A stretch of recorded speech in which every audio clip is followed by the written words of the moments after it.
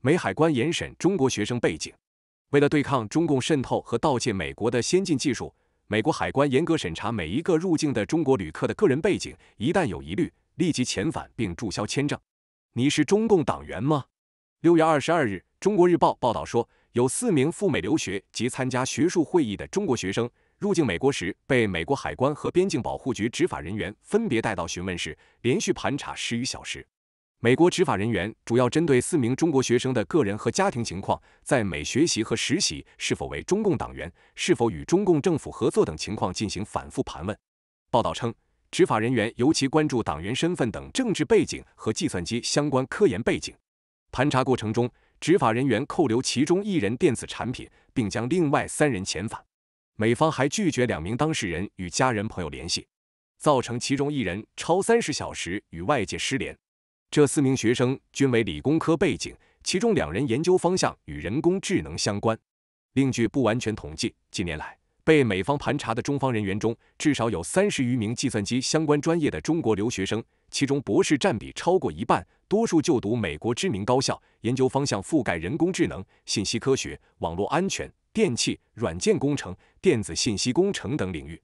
二零二零年五月。时任总统川普发布第幺零零四三号行政令，禁止与中共军方有关持 F 签学生签证和拒签访问学者签证的中国学生和学者入境美国。同年十二月三日，美国务院发布新规，限制中共党员及其直系亲属赴美旅行。二零二一年七月，中共媒体曾透露五百多名中国理工科研究生被美国拒签，中共外交部还对美国提出了严正交涉。但美国国务院和驻华大使馆当时回应，相关的签证限制针对性强，只影响极少数人。前苹果华人工程师因窃密获刑。据大纪元报道，二零二二年八月二十二日，苹果公司前华人工程师张小浪在加州圣荷西联邦法院认罪，他被指控窃取苹果公司自动驾驶车项目的机密技术信息。二零一八年，在准备飞回中国时被捕。二零二四年二月。张小浪被判处一百二十天监禁和十多万美元的罚款。张最初面临最高十年监禁和二十五万美元罚款。张小浪自二零一五年以来一直在苹果公司工作，曾担任苹果公司自动驾驶汽车计划（代号为泰坦计划）的硬件工程师。二零一八年四月三十日，张向苹果表示，他将辞去工作，以便返回中国与生病的母亲在一起。根据在该案中提交的一份宣誓书，苹果随后得知张为小鹏汽车工作。根据苹果公司的投诉内容，张通过 AirDrop 将一份包含苹果自驾车电路板工程原理图的二十五页文件传输到他妻子的笔记本电脑上。他还保存了一份描述苹果笔记本电脑原型的技术手册。此外，还从苹果开发实验室窃取电路板和一台 Linux 服务器。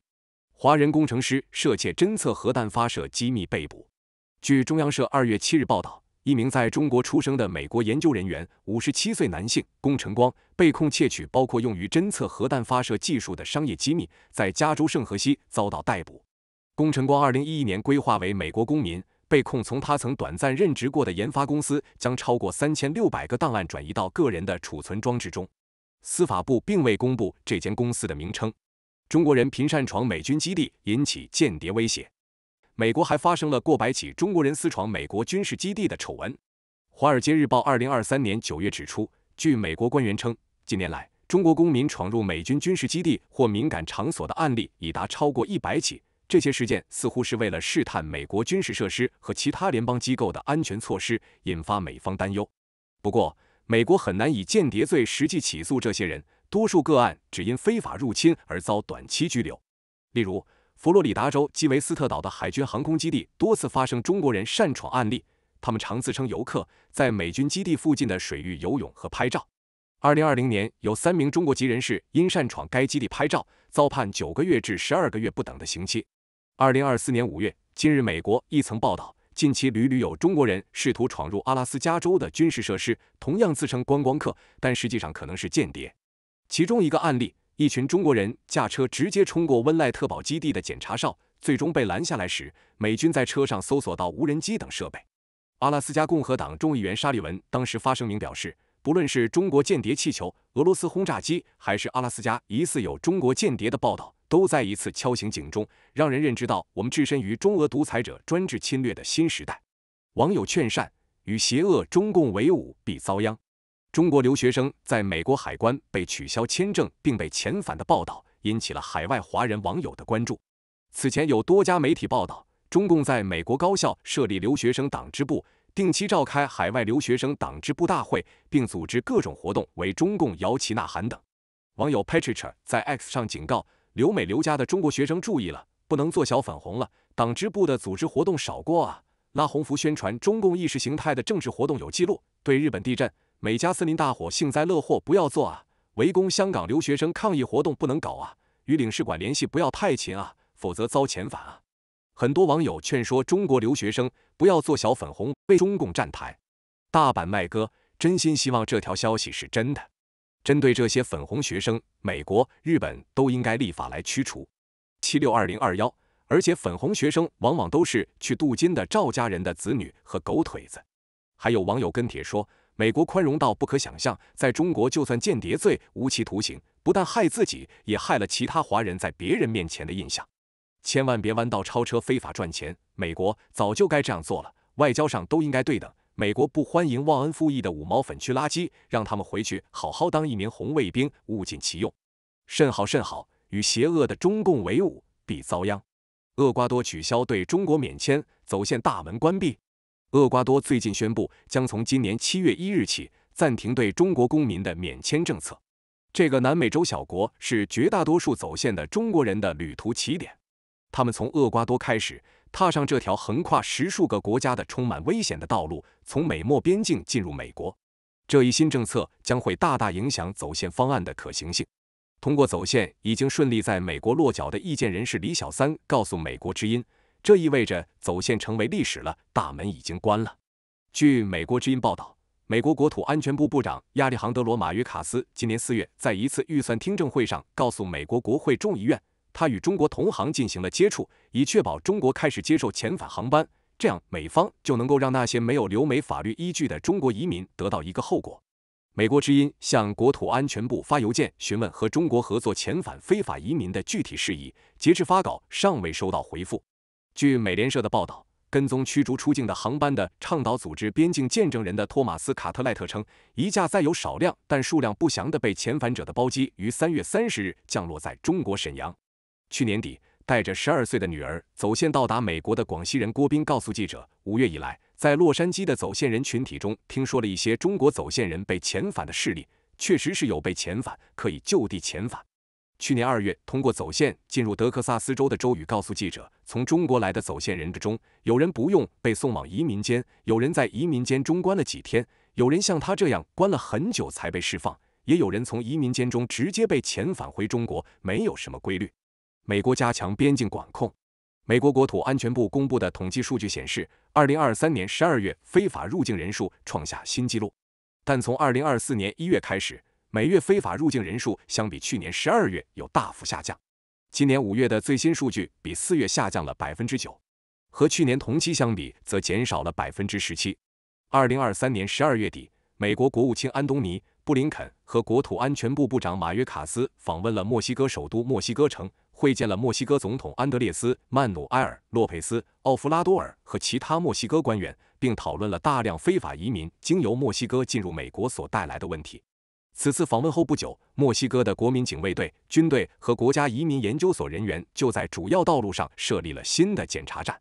他们增加了对比较多人使用的进入美国的过境点的巡逻，也将很多走线人从往北前往美墨边境的道路上拦截下来。根据统计，今年一月和二月。墨西哥移民部队打破了单月逮捕移民记录，郭斌也在走线群体中观察到了这一现象。他表示，有些走线人在穿越墨西哥一路北上的过程中被拦截下来。美国联邦政府的移民官确实和墨西哥政府合作，移民官深入到墨西哥中部拦截移民。这些人被拦截下来后，被送往墨西哥南部。他们如果要继续走线旅程，则必须从离美国更远的地方重新开始。在一次又一次被拦截的过程中，他们耗费大量的时间与金钱精力。许多走线人原本就手头拮据，语言不通，这样的过程反复几次，就有可能彻底打消他们去美国的念头。但郭斌也表示，这并不代表穿越墨西哥毫无办法。他对记者提到了蛇头常用的贿赂等各种手段。有人的地方总有江湖，也总有腐败，各种各样的手段都有。他总结道：“古巴和玻利维亚或成新的走线起点站。”三十三岁的安徽人王忠伟，自从去年五月走线成功后，因为参加公开抗议活动和接受采访，已经成为了洛杉矶走线圈中的红人。许多走线成功和正在走线的中国人都会和他联络，寻求帮助或者交流咨询。他向记者介绍了该群体对于厄瓜多取消对中国免签政策的反应，讨论的非常热烈，这个影响挺大的。基本上走线群体里百分之八十以上都是走厄瓜多来的，他自己也选用了这条路线。但他表示，人们离开中国润到美国的意愿依然强烈，所以大家也在讨论新的路线，可以飞古巴，还可以飞玻利维亚。今年五月。古巴政府决定对持普通护照入境、过境古巴且停留不超过九十天的中国公民实施免签政策。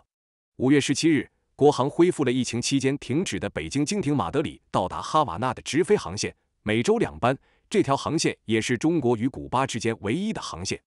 古巴到佛罗里达州最南端的直线距离不到一百英里。佛罗里达海峡和古巴之间的狭窄水道，过去几十年里一直是古巴当地居民的偷渡路线。美国海防队也一直在此海域抓到乘坐各种船只，包括捡漏自制船只偷渡的人，但这段旅程非常危险。根据报道，即使在风平浪静的日子里，佛罗里达海峡汹涌的海水也可能让船只摇摇晃晃，而自制船只经验不足的水手，恶劣的天气则可能会有致命的危险。但王忠伟表示，已经有计划走线的中国人决定尝试这条道路。此前也有中国人从古巴成功入境美国的先例。二零二三年十月，十一名男性与六名女性中国公民从古巴非法进入佛州拉格礁岛后被逮捕。李小三则认为，许多走线人虽然想要离开中国，但还是会考虑到旅途中的危险程度，而古巴到佛罗里达州的路线对他们来说太过冒险了。这条线很危险，因为是海路，死人很多。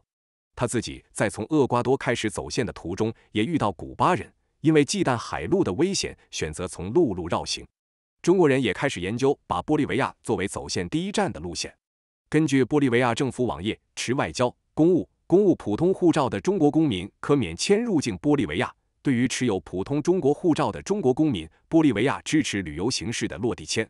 过境签证可停留十五天，旅游和访问签证可停留三十天。到达玻利维亚境内后，这些人需要穿越秘鲁境内。从陆路到达厄瓜多，让原本就漫长而危险的走线路途更加困难。走线人普遍认为，从陆路偷渡进入厄瓜多比乘坐飞机入境厄瓜多被海关检查证件更可行。他们又开发新路线了，比如说像委内瑞达，或者说从埃及开罗飞洪都拉斯。在走线过程中曾使用蛇头的郭斌告诉了记者这些蛇头计划的新路线。记者查询后发现，洪都拉斯和委内瑞拉并未对中国公民免签。但郭斌说，蛇头们可以打点好一切。那些当地黑帮蛇头，他们可以带着绕路给钱就行，带着绕开边境，绕开检查站，走线的快捷版，拥有日本等国家签证，可直飞墨西哥。近几个月来，乘坐飞机到达墨西哥后，直接跨越边境进入美国的快捷版走线也开始流行。郭斌告诉记者，因为两个国家的政策和施压，很多蛇头都做不了了，现在也很难走了。他们现在要走。就想办法找蛇头或者中介办日本、墨西哥、英国的签证，办好以后，他们就直奔墨西哥，然后在墨西哥找蛇头翻墙。但不像走线这样人人都可以走，他这种方法只有很小的一部分可以走，因为办这些签证都有门槛。去年十二月底，网名“天坛妈妈”的网友在网际网络上发表了他和儿子以及朋友母女在拥有日本多次签证的情况下。从日本飞到墨西哥城，在边境城市蒂华纳入境美国的经历被许多网民和自媒体转发。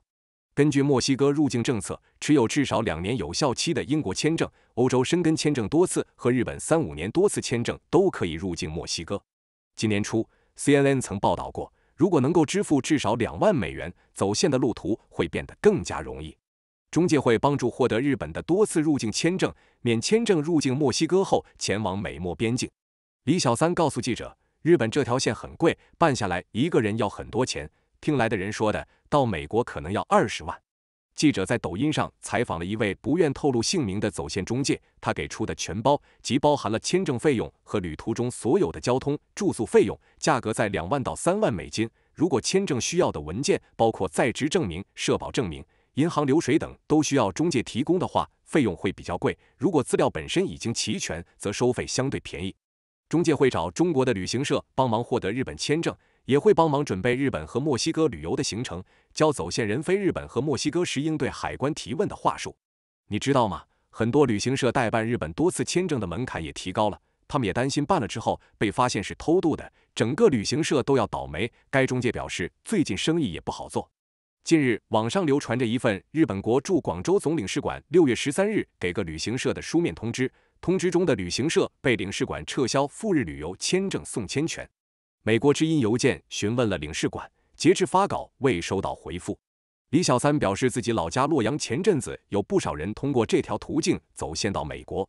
根据网传文件，洛阳赫然在旅客境外非法滞留高发地区的黑名单之列，造假资料的国内旅行社被严查，这条线也断了，走线大门或已关闭。在中国被国安部门找上门来的意见者李小三走线之后，在纽约开了一家翻译公司。他已经通过了政治庇护申请的预审听证会，今年将会出庭个人排期听证会，也拿到了工作许可。他感慨自己能够来到美国开展新生活是很幸运的，也为现在想要离开的中国同胞感到不幸。